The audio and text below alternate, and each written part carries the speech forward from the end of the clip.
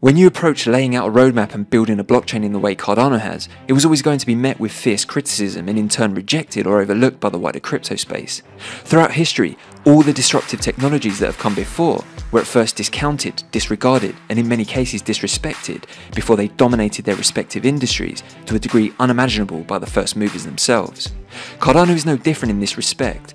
The peer-reviewed academic approach was slated for years and used as a weapon to mock this so-called science project. But as we look around the blockchain industry in its current state, it's never been more obvious that the level of research undertaken at the start puts you years ahead of the competition later on down the road. While the not invented here syndrome spreads like wildfire throughout the industry, Cardano has remained true to its approach, placing itself at the very frontier of blockchain technology. Now, as IOG keeps turning the peer-reviewed papers on, converting them from extensive research to tangible technology, no longer is this blockchain development slow and steady, but moving at such a pace, it's difficult to see how anything else is going to be able to keep up. Welcome back for today's installment of Cardano Insights, where we track the all important developments at the very pulse of Cardano and its ecosystem. So let's get straight into it. So today we're going to dive a little deeper into the Basho era off the back of the detailed presentation uploaded by Charles on Monday, where he provided a great insight to the structure, components and impact of the rollout of this highly disruptive technology. Basho represents a significant stage in the Cardano roadmap, heavily focused on improving the scalability of the network, whilst being delivered concurrently with Voltaire, the governance piece, which will form the final two eras of what I believe will prove to be the most robust, effective and well executed roadmap blockchain wide. Firstly, he briefly mentioned the work on Voltaire and governance being well underway, which includes the formation of the members-based organisation, a constitution, and multiple CIPs that are currently being drafted. Charles confirmed that he'll be doing a big presentation at the summit, with lots to be announced regarding this at the event in November. But in this presentation, he delved deep into Basho. As you may be aware, the first signs of scalability focused tech has already been delivered off the back of the Vasil upgrade, with the first version of diffusion pipelining now launched, with many versions and optimizations to follow. In addition, the significant improvements to Plutus in the form of V2, we've already seen a 10x reduction in script size and 50% lower fees in many cases across the dApps in our ecosystem, which we've been tracking on this channel. Plutus optimizations will continue with version 3 expected to follow in 2023, where the expressiveness will be taken to another level altogether. So what else is on the horizon? Well, Mithril is now rapidly approaching version 1. Possibly this year, but likely early 2023, SPOs are already testing this extensively and is something Charles described as the biggest pillar of Basho. We've covered Mithril on numerous occasions in some detail, but effectively, Mithril creates an overlay to the layer 1 to construct proof certificates that enables you to verify many transactions off-chain. I think he gave the example of voting, then aggregate all of this together into one single transaction on-chain. This provides the same impact and trust assumptions as if you've aggregated all the transactions on-chain. In effect, Mithril enables the bootstrapping of full nodes quickly and provides light clients full node security that in essence enables the many-to-one concept, something vital in achieving scalability, as this requires lots of actions to be completed in one execution, a real powerful piece of technology. Charles confirmed the progress regarding Mithril is moving very quickly, with an expected Q4 to Q1 release. We'll be getting fast bootstrapping and light client application, this technology is intended on being used in input endorsers, voting and other applications that need to leverage the many-to-one concept. Next to Hydra. Similar to Mithril, this is also a fast evolving technology with the V1 release expected in Q4 to Q1. This is where Charles provided some real clarity in terms of Hydra. V1 is not going to be an overlay network that will sit on top of the L1 that, for instance, SPOs will run some form of accelerator network. Now, whilst this can be the case further down the line with the introduction of Hydra Tail, something also being developed for things like microtransactions, the current version will be a dApp embedded software forming part of the off-chain kit, embedded into dApps that require lots of scale like DEXs, lending protocols and so forth. This enables you to batch lots of transactions together, similar to Mithril in this respect, to achieve a many-to-one result leading to a significant reduction in cost and increase in speed. Mithril is closely connected to the progress of Hydra, they have shared teams, and as Mithril advances, Hydra advances, forming two key components for improving scalability of the Cardano blockchain. But the biggest single contributor to increased throughput, however, is input endorsers. Charles explained that he doesn't believe this will be required in 2023, as if you look at the improvements coming to diffusion pipelining in Plutus, along with the introduction of version 1 Mithril and Hydra, we will have more throughput than we have use. But with the effective TPS rate already very high, it's not difficult to envision the impact once Mithril and Hydra are finally introduced. But this doesn't mean input endorsers is just a concept. The design started way back in January of this year. CIPs are actively being written as we speak, and we're at the stage now where the design is all figured out. This is now being translated into CIPs, and see, input endorsers is not a small thing. It basically constitutes as a reimagining of the Cardano blockchain structure. Charles explained that effectively you go from the standard process of a chain of blocks to achieving lots more in parallel, followed by batching all of this together, then repeat. In real time, this results in the blockchain continuously running computations. This has a significantly positive impact. Right now, only 0.25% of the block time budget is allocated for computation, that's the execution of scripts, which is massively limiting. The throughput you get from input endorsers is going to be gargantuan, not just a 10x, but a significant increase in speed and reduction in cost. This is where Mithril comes into play with input endorsers. As the blockchain moves to continuous execution of scripts and huge increase in throughput, the blockchain is going to grow significantly, meaning you need an accelerated bootstrap mechanism. The Mithril and Hydra program will continue throughout 2023 because these components are vital for building our input endorsers. So Mithril and Hydra comes first, which then contributes to the rollout of input endorsers. Input endorsers are considered to be the final milestone of the Basho era because when we consider what we already have from the Vasil upgrade and incoming version 1 for Mithril and Hydra, this is enough to be highly competitive against all of the top 15 cryptocurrencies for the here and now. Input endorsers, however, will enable Cardano to scale for the next 5 to 10 years. In November, the CIPs will be announced, which will lead to a big community conversation as these CIPs will affect everything from staking, reward structure, fee structure, and a whole lot more. Something on this scale requires the entire community of developers to have input and is another big collaborative piece.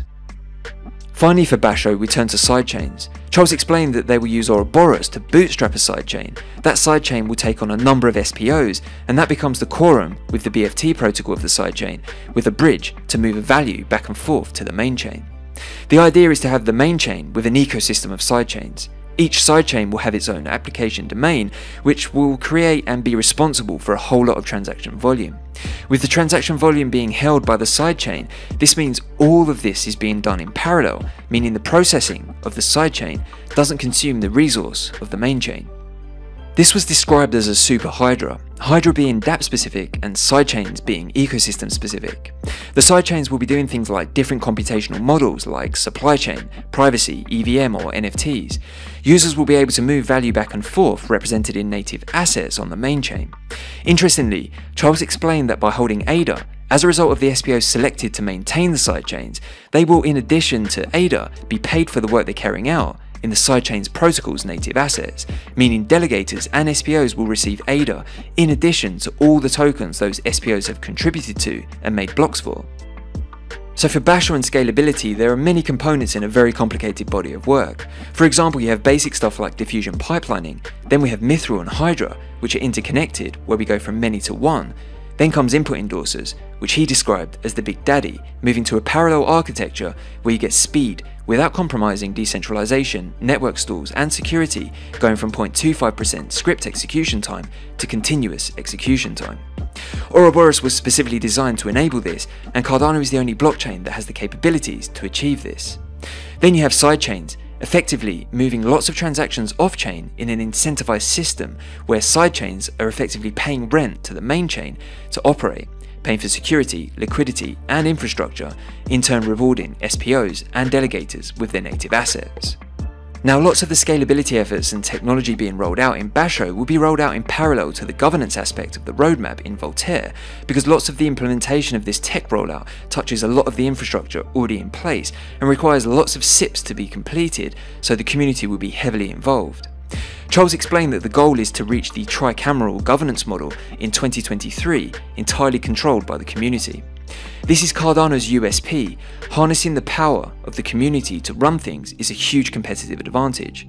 Charles described this as if you have 3 million people building, thinking, and contributing through a constructive, collaborative process, you have an extremely powerful weapon that will be completely unique to Cardano. Charles then reminded us about the tech rollout in Basho is for the most part as a result of the 150 plus research papers written and published. At this stage, it's basically rolling out all of the great ideas that will lead to high throughput without compromising decentralization or security. The careful thought that's gone into the Cardano roadmap is staggering, and in reality, has resulted in Cardano moving way faster than any other ecosystem in respect of the quality of the tech and how well positioned they are to actually solve the blockchain trilemma and effectively scale to billions of users. While Ethereum has spent 7 years to produce an inferior staking solution, Cardano has already figured out a far superior one all the way back in 2020 and is now solely focused on taking it to the next level where basically the system scales with the network speed forever. It's also important to remember that with Hydra and Mithril and Plutus, whilst they can produce significant growth in their current or initial versions, they will be constantly being improved over time with new releases continually gaining new capabilities. Charles closed off by explaining that we have in fact realized the vision of Bitcoin in Cardano. Color coins is Cardano native assets. Lightning is what Hydra has achieved. Inclusive accountability, where everyone has a copy of the blockchain, even without having a copy of the blockchain, so you are your own node and own bank, are all things Cardano has delivered. All of this, combined with the introduction of input endorsers that will enable the network to scale to billions of users whilst becoming more decentralized over time, and with Voltaire, the idea that everyone can contribute in governance, is the final piece of that puzzle. It seems everything Satoshi outlined, Cardano has realized in this roadmap. How can anyone with an ounce of credibility look the scientists, engineers, and developers throughout the community in the eye and discredit what Cardano has so far achieved in any way? I've linked the full Charles Basho presentation in the description and would urge everyone, if you haven't already, to go give it a watch. So I wanted to end today's video with a great thread posted by Ada Advocate, as I think it provides some great perspective on where this is all likely heading and ties in nicely to the theme of the video. It reads, the FUD against Cardano has shifted. This is significant in terms of what's to come. Where it used to centre around not having e.g. no smart contracts, not scaling, no dApps, no DEXs, no way to solve consensus, these narratives fell apart as the features were delivered. Now the FUD, for the most part, is either nonsense or it's a statement that's instantly verifiable as false. Influencers like Eric Wall won't even touch the technology narrative in fear of being mocked, and even Van Ness keeps talking about zombie chain and TPS, but it's laughable how bad of an argument he makes. Messari is coming around, inviting Charles to speak and allow for an open discussion around VC was a very nice touch. So why is this significant? Well for one, the risk-off environment we're experiencing globally, a lot of VCs are seeking shelter outside of crypto. Guess which blockchain that doesn't impact as much as others? Answer, the one that didn't have VC involvement to begin with. So what comes next? Similar to the beginnings of the dot-com boom, websites that were heavily backed by VCs but offered no real innovation disappeared. What became valuable and world changing? Small startups focused on leveraging the technology of the internet to build robust, stable, and useful platforms. I firmly believe that's what differentiates Cardano from other blockchains. It's a narrative as old as time itself. Innovation and building properly win out over quick deployments. The modern society doesn't allow for a first mover advantage, it rewards methodically built and properly deployed platforms. Therefore, by studying the FUD narrative closely, one can see the arguments against Cardano are slowly eroding and being replaced by immature crying. Similar to how Google, Apple and Facebook were treated at the beginning, it's early, but it won't be for long. A year and a half ago, we were trying to demonstrate that Cardano had NFTs. A year ago, it was demonstrating that we had smart contracts. Now it's speed and users. Amazing how fast it's accelerating. I'll leave you with this. If so far Cardano has delivered against and continually disproved all of the FUD narratives in the rollout of the tech itself, what makes you think this won't also be the case as we tackle scalability and governance? Basho is well and truly underway, and as the dogs keep barking, the caravan just continues rolling down the road. So that's it for today's installment of Cardano Insights, as we keep track of all the developments and continue to spread those positive Cardano vibes. If you found value in the content and want to help me crack this YouTube algorithm, then please be sure to comment, share, like, subscribe, and hit that notification bell, which will go a long way in scaling the channel, Basho style. We'll be back soon with your daily roundup. Until then, thanks for watching, have a great day, and as always, keep it Cardano.